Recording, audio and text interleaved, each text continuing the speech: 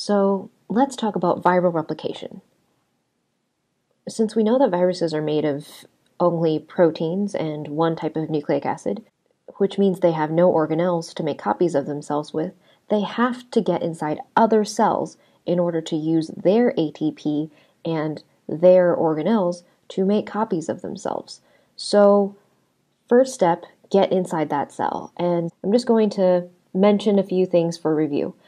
So remember, there are three ways of getting into a cell. You know, one of the ways of getting in is that bacteriophages, they literally just inject their genetic material inside of the cell, whereas every other type of virus uses one of two ways.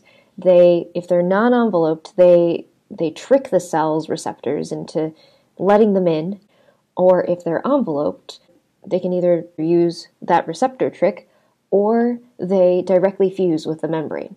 And once that genetic material is inside of the cell, the virus has hacked in and it's ready to do a takeover.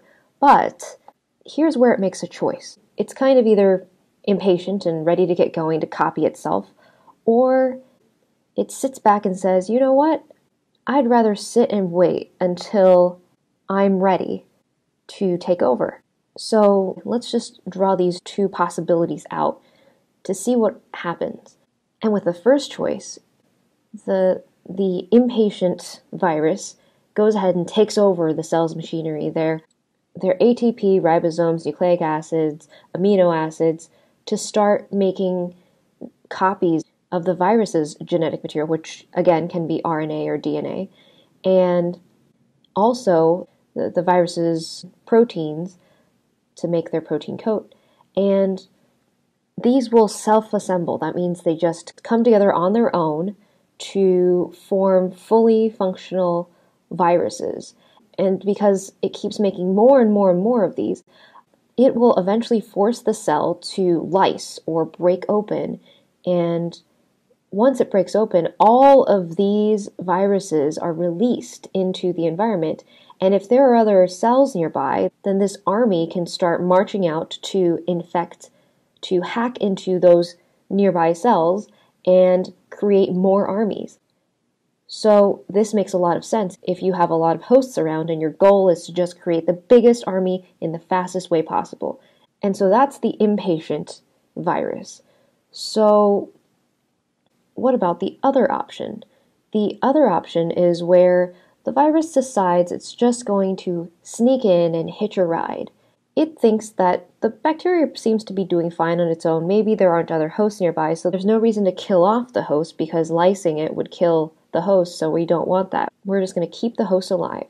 And in order to sneak in and and let the bacteria do its thing while it's waiting, it's going to combine with the host's genetic information so that the host really can't tell that it's there.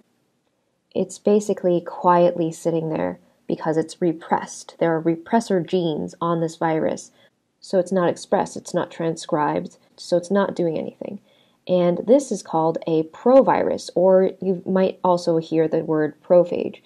And again, because it's not doing anything, this is called a dormant or latent phase. So the bacteria just does its own thing, it continues replicating, and of course, the virus is already there, so it will continue to replicate. So it will replicate when the bacteria does because it's part of its genome. But about 1 in 10,000 times that this happens, or if something happens like the bacteria is exposed to UV light or something, well, in any case, there's something that weakens that repressor gene that we talked about on that virus. So it's no longer quiet. And the host's genome, like most other genomes, will start wanting to repair itself. That means it will cut out to try to repair its genome. It will excise out part of its DNA that just happens to be the virus. And now the virus is active. It's ready to make copies of itself, lyse the cell, and get its army out into infecting other cells.